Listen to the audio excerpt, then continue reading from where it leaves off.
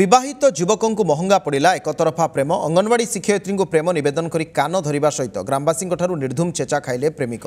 বাঙ্কি থানা ঘোলপুর গাঁরে ঘটিছে এভাবে এক ঘটনা